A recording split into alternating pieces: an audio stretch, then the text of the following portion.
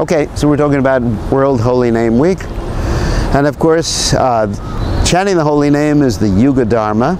Uh, the Yuga Avatar, Sri Chaitanya Mahaprabhu, appeared approximately 500 years ago to teach this Yuga Dharma. It's a non-sectarian process. Of course, Chaitanya Mahaprabhu stated that Krishna has invested all of his transcendental potency in his names, and of course he has hundreds and millions of names. And the most potent name is Krishna. And the most potent way of chanting Krishna's name is the Hare Krishna Maha Mantra. Hare Krishna, Hare Krishna, Krishna Krishna, Hare Hare, Hare Rama, Hare Rama, Rama Rama, Hare Hare. And the most potent way of chanting the Hare Krishna Maha Mantra is utilizing the process of Sankirtan. Now, Sankirtan means to chant congregationally. It also means to chant in a very intense way. So when we chant congregationally, we're actually giving the holy name to the public. And this is called uh, the process of Sankirtan or the process of Harinam Sankirtan.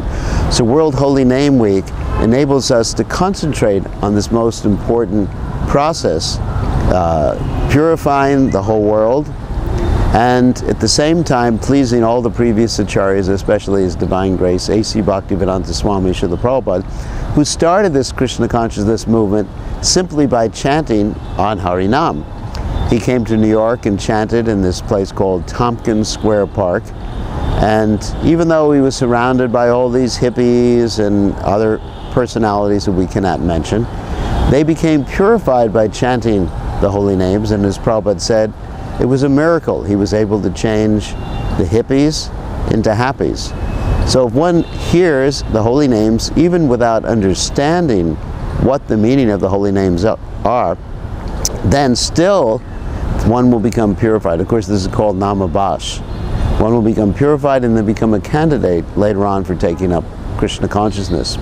I also personally experienced this. The first contact I had with the holy names was uh, when I heard Srila Prabhupada chanting on the radio. This was something like 1968 or 69. When I heard this chanting, it attracted me very much and I recorded it and played it over and over again for myself.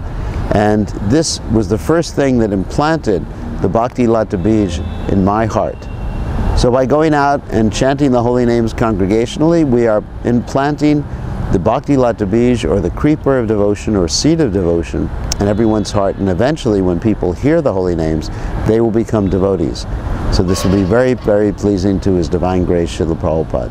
Thank you very much.